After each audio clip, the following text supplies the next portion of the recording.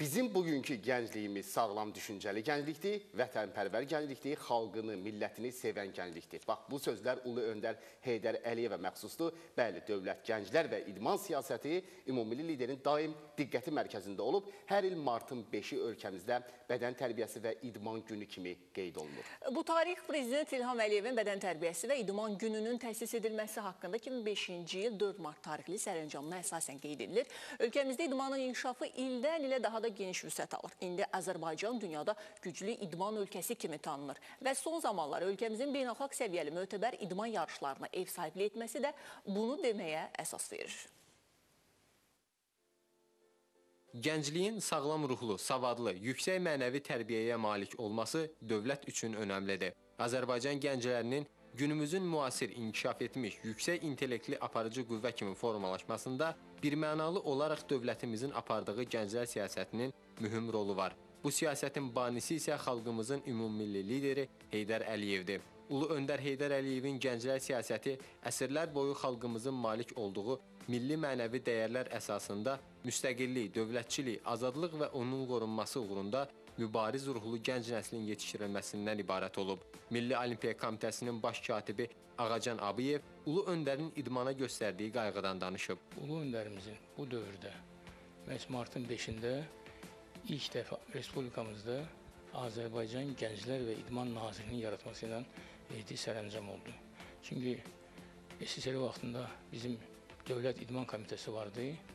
Lakin Komsomolun da öz təşkilatları var. Gənclər də komsomolla məşğul olur, komsomolda məşğul olurlar. Ona görə ulu öndərimiz böyük uzaq görənliklə həmin bu idman komitəsini birləşdirdi bir yerdə Gənclər və İdman Nazirliyi yaratdı. Ulu Öndər Heydər Əliyevin rəhbərliyi ilə dövlətin həyata keçirdiyi gənclər siyasətində idmanın inkişaf etdirilməsi və onun kütləviliyinin artırılması mühüm yer tuturdu. Və bütün bu görülən işlər nəticəsiz qalmadı. Azərbaycan 2000-ci ildə iştirak etdiyi Olimpiya yarışlarında 2 qızıl və 1 bürünc medal qazandı. Sidneyə gedilməmişdən öncə bütün idmançılar, məşqçilər idman ictimaiyyətini ulu öndərimiz qəbul elədi.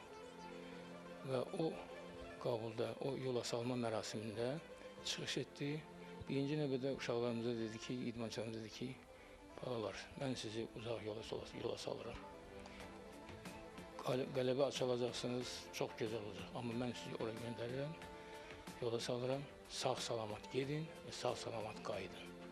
Bax, bu əsl ata balalarına atanın dediyi sözlərdir. Ulu Öndər Heydər Əliyevin Azərbaycanda idmanın kütləviliyinə nail olmaq, bədən tərbiyəsi və idmanı geniş coğrafi məkanda inkişaf və təbliğ etdirmək siyasəti bu gün də uğurla davam etdirilir. Ölkəmizdə 45 Olimpiya İdman kompleksi fəaliyyət göstərir ki, sonuncu elə Beyləqan Olimpiya İdman kompleksinin açılışında cənab prezident Milli Olimpiya Komitəsinin prezidenti İlham Əliyev özü şəxsən iştirak elədi, digərlərində olduğu kimi.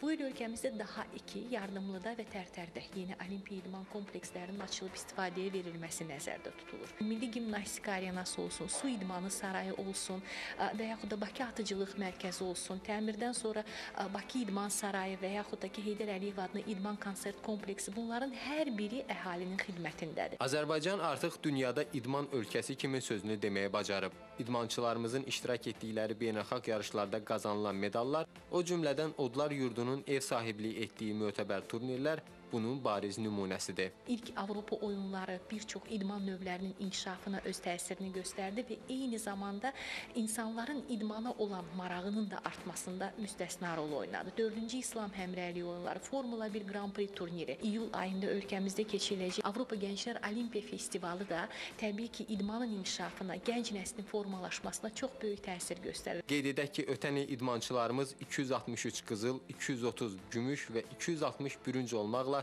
ümumilikdə 753 medal qazanıb. Bu isə onu göstərir ki, idmanımız daim yüksələn xətlə inkişaf edir və bizi qarşıda hələ çox qələbələr gözləyir.